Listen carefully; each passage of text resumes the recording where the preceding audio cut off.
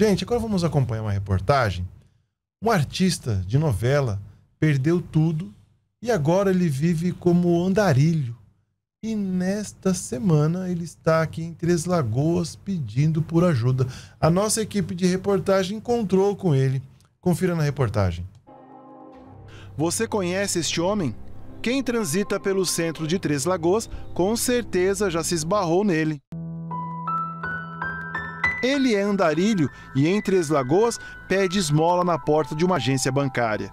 Ele contou que estava em Campo Grande e que por lá foi vítima de agressão e resolveu voltar para sua casa, que fica em Minas Gerais. Sem condições de continuar com a viagem, parou em Três Lagoas. Me levaram, tipo, eu não conseguindo andar, eu tive que dar aquele espaço para não cair no chão, porque parecia que ele ia quebrar meu braço. Eu ia pro chão, ele levantava do jeito dele, pela calça. Mas a vida deste homem nem sempre foi assim. E quando ele entrega um bilhete onde pede por ajuda, revela a verdadeira identidade. Este homem se chama Tiago Baldini, ex-ator e já participou de novelas com grandes artistas.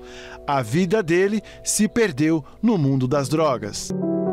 O alcoolismo não tem problemas. Eu usei muita cocaína no passado, tá? não uso mais. Eu tenho problema de hipoglicemia Tá? É a única doença que eu tenho é hipoglicemia. Essa não me deixa engordar. Mas o fato que eu trabalho tocando, andando. Eu como bem, porque assim, todo lugar que eu passo que tem de comida, geralmente muitos são de comida, sempre tem um, ainda mais brasileiro que tem um coração grande, ó, ele quer colaborar, mas ele não, ele não tem, eu quero colaborar, eu quero te ajudar, mas eu não tenho dinheiro. Você quer comer? Então assim, e se eu passar em 10 locais de comida, vão pôr aí quatro ou cinco vão me oferecer alguém vai me oferecer comida.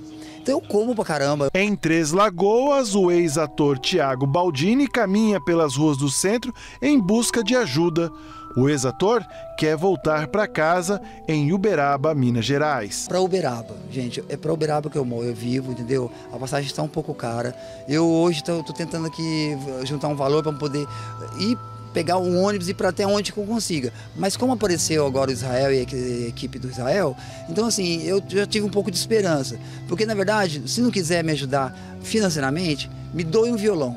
Se você me doar um violão, amanhã eu estarei tocando em todos os bares e restaurantes que estiverem abertos, passando e tocando duas, três músicas. Enquanto ele não consegue retornar para o seu lar, ele continua pedindo ajuda na área central.